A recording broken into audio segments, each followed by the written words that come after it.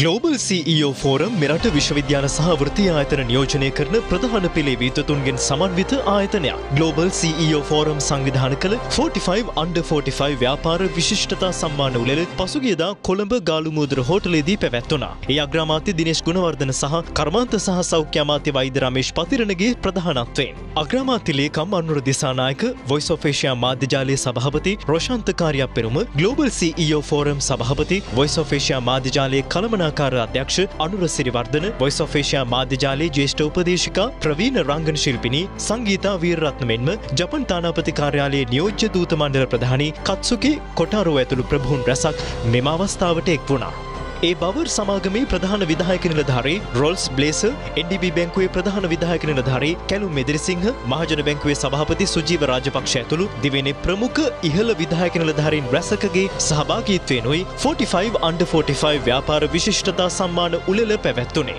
Voice of Asia මාධ්‍යජාලයේ ප්‍රධාන විදායක නිලධාරී අජා සෆීක්ද මෙම අවස්ථාවට එක් වුණා.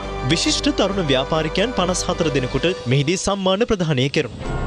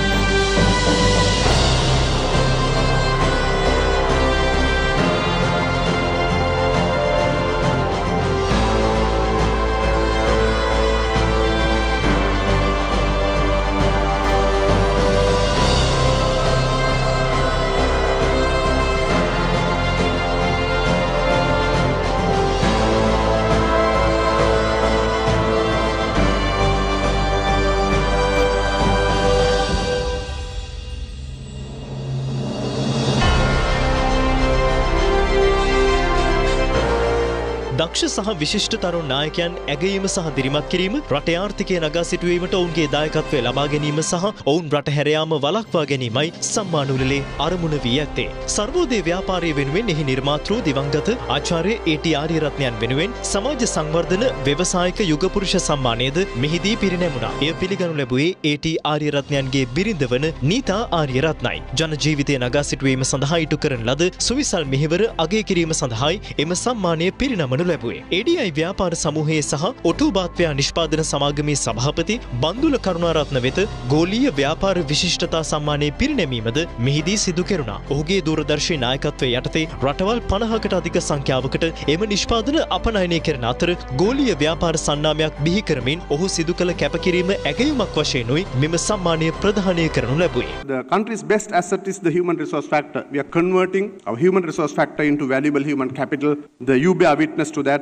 We have more than 1,000 capable CEOs who could go around the world and service to the different companies and also can nurture the Sri Lankan industries in time to come. I congratulate again Mrs. Srivadan having done wonderfully well in relation to appreciate the, the CEOs of the country. The, the, the, the set of people, those who are below the 45 years of age, are capable of taking the challenge to the next generation and I'm, I have no doubt in mentioning that they will take our country to the next level to make it a developed country. සම්මානුලල අමතමින් global CEO ෆෝරම්හි සභාපති voice of Asia මාධ්‍යජාලයේ කළමනාකාර අධ්‍යක්ෂ අනුර සිරිවර්ධන සඳහන් කළේ සම්මාන ප්‍රධානය කිරීමෙන් නොනැවති තරුණ ව්‍යවසායකයන් දැනුමින් සහ කුසලතාවලින් දියුණු කිරීමට නව වැඩපිළිවෙල රැසක් මේ වන විටත් සැලසුම් කර ඇති බවයි. කළමනාකරන උපදේශක සුනිල් විජේසිංහ වරලත් කළමනාකරන ආයතනයේ සභාපති මහාචාර්ය අජන්ත ධර්මසිරි IDM ආයතනයේ ප්‍රධාන මෙහෙයුම් නිලධාරී කරූපර්ණ විතාන ශ්‍රී ලංකා ටෙලිකොම් ප්‍රධාන අලෙවි නිලධාරී ප්‍රභා දහනායක යන අයද මෙහිදී සභාව ආමන්ත්‍රණය කළා. සම්මාන උළෙලේ විනිශ්චය කටයුතු සිදු කළේ විද්වතුන් රැසකගෙන් සමන්විත